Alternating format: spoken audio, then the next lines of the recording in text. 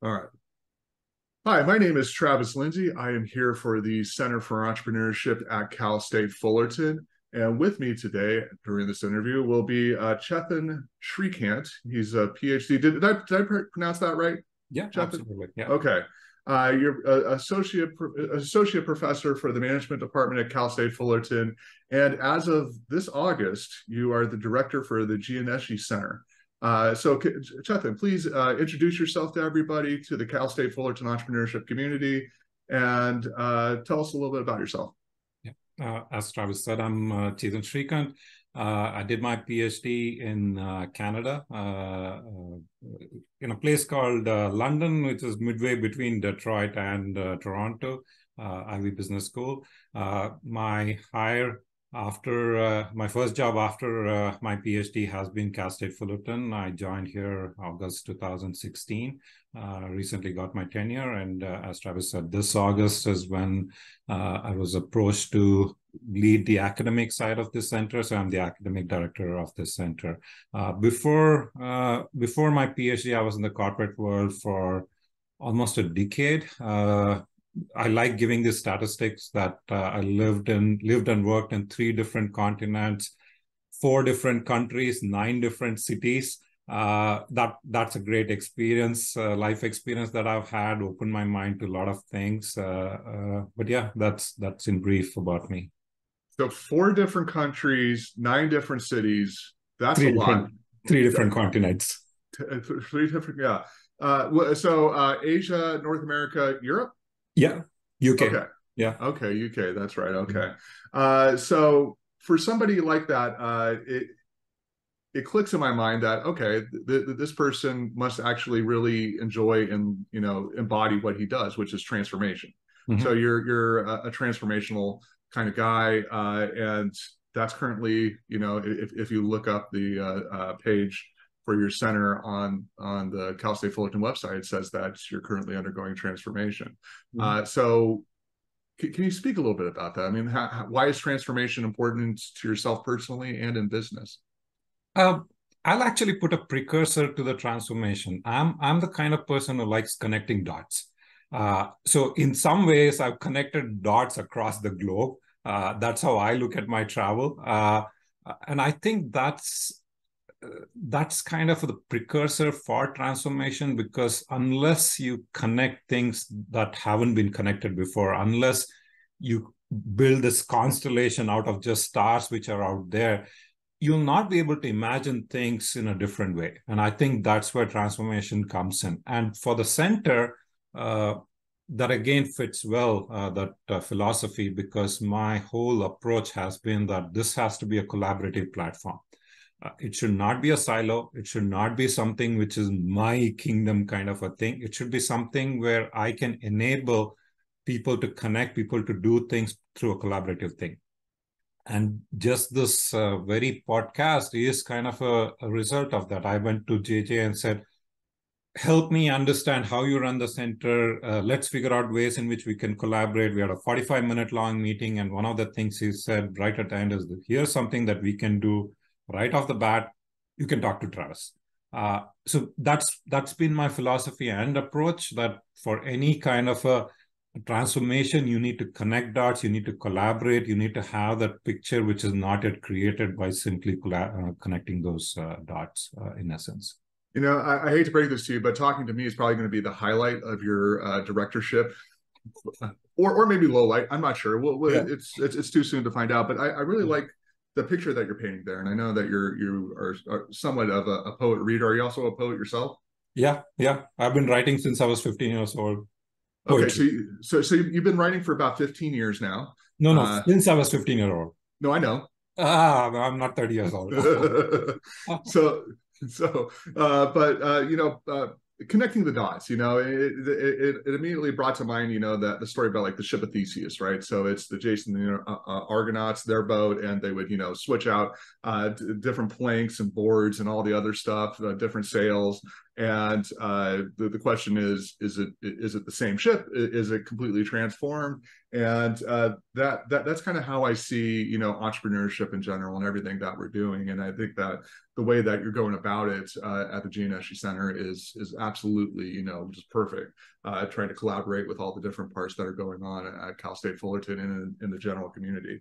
Uh, speaking about that, you know, social entrepreneurship that's something that is near and dear to our heart at the Center for Entrepreneurship, and I, I believe it is uh, for yours for you as well. Uh, mm-hmm. can you explain how you're going to uh, impact uh, that world and you know help uh, develop and uh, you know help develop and maybe curate a little bit social entrepreneurs in the CSUF community? Okay. Uh, if you don't mind, I'll first uh, give a very brief history lesson on the center itself because I think that's relevant to the discussion we are having. Uh, so the, when the center was set up, uh, it was through uh, through the funds which Harry Gianneschi, uh, who was a prolific fundraiser for the university, it was through his fund. After his passing away, the center was named after him, and his goal was for the money to go towards nonprofit related activities. So the center was Center for Nonprofit for a very, very long time. Uh, then when the last director left, it was kind of an orphan for a while. Uh, and uh, uh Sridhar Sundaram, Sri, as we call him, our dean, he kind of reconceptualized it and said this should be a center for social impact, have a broader impact. But the nonprofit side hasn't yet gone away from the center. Uh, and where I come from in terms of my own academic background, I believe in the good of uh, business. Uh, we know there's a lot of bad which happens in business, but I don't think we talk enough about the good that business can do. Social enterprise is right at that intersection. So, from the center's perspective, we're looking at the entire landscape. We're still keeping the nonprofit side. I'm bringing in this emphasis, especially in terms of the local so, uh, uh, small businesses uh, uh, and the good they are doing, the social impact they are doing. But the overlap part between nonprofit and local small businesses, that's where the social enterprises come in, or social entrepreneurship as a mindset uh, comes in. Uh, and I think from from your center's perspective, that's again where we'll have an overlap, but we'll also be working with nonprofit and small business. That's the first thing which uh, which I wanted to uh, kind of highlight. Perfect. So it, it's a holistic look at the economy, uh, understanding that um, you know, as uh, I believe it was Dost, uh, Dostoevsky's uh, Alyosha was saying, is that everything matters. Uh, so it's it's kind of in that same vein that you're working off of, right? So it's it's the for-profit businesses, it's the nonprofits, and it's all uh, everything else in between. Correct? Yes. Yes. And I, yeah. I, see social enterprise as an uh, overlap between the two uh, spheres. If you put a Venn diagram, it'll be right in the middle. Right. absolutely. Yeah. I was. I. I just got done talking with one of uh, uh, the current Cal State Fullerton students. He's over in the engineering department, and he's working on developing a prosthetic arm uh, mm-hmm. uh, with some of the other engineering students, and then also making it into an actual business. And I'm. And, and that's the kind of thing that I, you know, immediately think of uh, when you're talking about a, a social enterprise, right? So it's, it's, something like that, correct? Yeah, it is. Uh, but the key, I think, is that uh, unlike nonprofits, which uh, in some ways don't do so well on the business side of things in terms of marketing, uh, operations, and other functional aspects, and businesses which almost think of social impact nowadays as a necessary thing to do, but not the main thing. Social enterprises have to look at both. They have to look at their social mission and they need to have a viable business. I think that's where they're different from those two entities. So it's not just a simple overlap, but the overlap means that it could either be best of both worlds or in some ways worst of both worlds in terms of the challenges. So they'll have challenges with both nonprofit phase and business phase, but they'll also need to have expertise in both uh, worlds. Right. Yeah, and and I think it's just an uh, also an acknowledgement of something that's been true forever is that you know business, no matter why you're doing it, it does have a social impact. You know, mm-hmm. it depends on you know uh, obviously you're employing people, you're in the community, you're having an impact there. Uh, you know, no matter what you do, no matter how hard you try, you you you can't uh, have zero impact. And so it, it's just an acknowledgement of that, right? Yes, yes, yeah. absolutely, yeah. So. Um, so can, can you give us a, a, look ahead and maybe give us a little bit of a sneak peek into some of the things that you're thinking of trying to accomplish with the Gianneschi Center? And I know you're, you're, you're just started; it's brand new, so some of these ideas there's still you know uh, a bunch of disconnected not, uh, uh, dots right now, but uh, yes, maybe a little uh, bit look ahead. So uh, a, a, few things. so through conversations, we've kind of come to an idea of setting up theme-based labs. Uh, labs kind of mimicking what uh, hard sciences do, but also incorporating some of the elements of innovation experimentation within those labs. So there are two which are coalescing and becoming a little more uh, real. Uh, I have an accounting faculty who's going to work with me, and he's going to lead a lab on ESG thought leadership. ESG stands for environmental social governance. It's kind of a a measurement framework with a lot of large companies use. I use it for my research. There are databases around it. So thought leadership in terms of producing research around that uh, space. So uh, that accounting faculty will lead that lab. I have another faculty from uh, my own department, management department, who will be leading uh, DEI wellness area. So that's the other theme. Uh, there are a couple of other things which I'm talking to different people about, but uh, they're not yet as firm or as concrete as these two. Uh, but the idea behind labs is that social impact is so broad. This will give us these kind of self contained units where we can do things in terms of research, in terms of student engagement, in terms of uh, outreach to community, which is just related to those labs. So that's one thing which has happened. Uh, second thing, in terms of collaboration, apart from uh, uh, Center for Entrepreneurship, uh, the two other centers which uh, which we have concrete uh, things to do. one with the Small Business Development Center, another with the Family Business Center. with the Small Business Development Center, we are trying to build a framework for measuring the social impact of small businesses. And the example which I like giving there is that if you have a, a bagel shop or a bakery and you give your leftover uh, bagel at the end of the day to a homeless person around the corner, you are having social impact, but nobody is talking about it. Nobody is capturing it. No ESG database will ever acknowledge that little gesture, right? So that's why we are trying to build something which is relevant for us in Southern California for the local uh, businesses a kind of a measurement framework. And to go about doing that, we're going to give. Uh, so I teach uh, Management 440, which is an undergrad class on uh, business and society. Uh, so in that class, we're going to create group projects for about seven to eight groups, and each group will be assigned a small business, and they'll think about how they're going to evaluate their uh, social impact. And after a couple of iteration, we're going to use all of those uh, projects and start coming up with our own framework. In the long term, uh, the hope or the aspiration is that we'll have some kind of uh, holistic metric uh, through which we can evaluate different businesses in Orange County and maybe give them different grades, kind of a silver, gold, platinum, have an award ceremony, get them recognized they can put it in front of their uh, uh, storefront and say that okay we got this gold certification from uh, uh, uh center for social impact at Cal State Fullerton. That's the long-term aspiration but in the short term we'll at least have this going and the small business development center mike daniels has been a great supporter uh, for a lot of things i'm doing.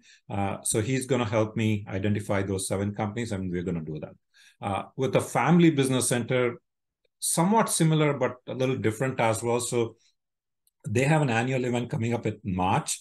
And one of the sorry, one of the themes that they were thinking about for their family business center members was identifying those who are doing well on social impact. Uh, so there we'll be doing a kind of a call for nomination. Uh, we come up with a, a, a tentative questionnaire, uh, which they'll fill out and uh, send back. And we're going to evaluate them and say, okay, these are the five uh, shortlisted uh, members and then interview them and then select one or two uh, awardees. So they're going to be awarded. So that's another collaboration which is uh, uh, happening. So these are some of the things in terms of uh, concrete efforts that we are doing. the other thing which we want to continue doing is the nonprofit side kind of support them on the functional aspects because again from a uh, social mission aspect, the nonprofits know what they're doing, they're passionate about it, but they often don't get the talent or they won't have the resources for marketing, finance, accounting, things like that.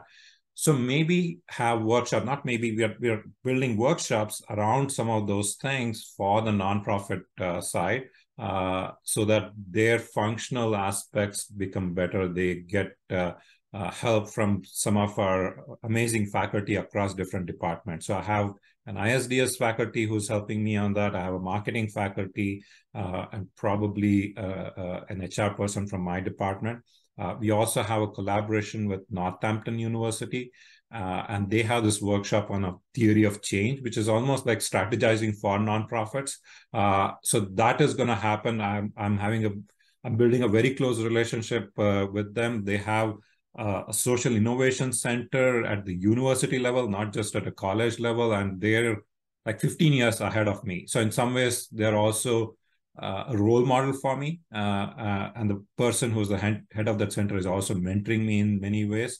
So that is also happening. Yes, it's been two months, but all of these things are already in play uh, within the last two months. So you haven't slept in two months. You know, congratulations on that. Uh, have you been keeping track of that? Making or uh, are you going to write write a a paper about sleep deprivation for two months straight? Uh, it's been sleep deprivation since 2010 when I started my PhD trials. So yeah, yeah, yeah, fair enough. No, I I, I get it. Uh, I've I, have I've had a little bit more sleep lately, but yeah, I mean, I I I, I get it a little bit. So one of the things that has struck me in our conversation is that on, on the one side of you is is the poet, right? Yeah. You, you see things. Uh, it's it's not so much numbers, and then on the other side is you know trying to measure everything, right? Yeah. So, so uh, maybe reconcile is, is too hard of a word, but how, how do you harmonize those two halves of yourself? Uh, it's interesting you caught on to that. In fact, my thesis was at the intersection of the two things. Again, it's a dot connector in me, right? Uh, okay. Because in our in our field, at least, we have these two strong camps: qualitative researchers and quantitative researchers. The method I use, it is called fuzzy, fuzzy set qualitative comparative analysis. Sounds fancy, but it it, it it's not uh, too complicated it kind of merges those two elements it brings in the qualitative element and in my uh, thesis research specifically i was qualitatively evaluating media reports about uh, opposition to lng terminals uh, so kind of trying to figure out what's happening on a descriptive qualitative aspect and then bringing in the quantitative element and then seeing what are the patterns which emerge uh, or can we make broader generalization beyond just that one particular anecdotal uh, instance. So I've already been doing that uh, since my uh, thesis days, and I think somewhere I like bringing in those two things. And and again, I'm I'm always that middle person. I'm always the gray area person. I'm never black and white. I'm very uncomfortable if things are black and white. I love it when it's gray. Uh, right? So this is again something like that. There is going to be a push and pull. There's going to be learning. There's going to be mistakes but I'm not going to go completely quantitative. I'm not going to go completely qualitative. I'll try to find a way which is middle ground. Yeah, I mean, you, you got to tell stories and also show proofs. Yes. Right. Yes, yeah, right. and so uh, you know, I was I was looking at your LinkedIn, you know, doing doing just a ton of research on this beforehand. Uh, uh, anyways, uh, and, and I saw the the poem. Is this one of your poems, the "As I Gaze Upon the Twinkling Sky," or is that something that uh, that sounds like my poem? Uh, I, I, have a poem in one of my syllabus for one of my classes, which summarizes the syllabus. Uh, so yeah. yeah. Uh, no, I don't, I, don't ask me to quote me. I cannot no, remember the poem. Well, well, no, I mean it's just the, the ending of it that I'm I am but a, a, trivial pawn in this endless and complex journey towards nowhere. I mean, it's just it, it's striking.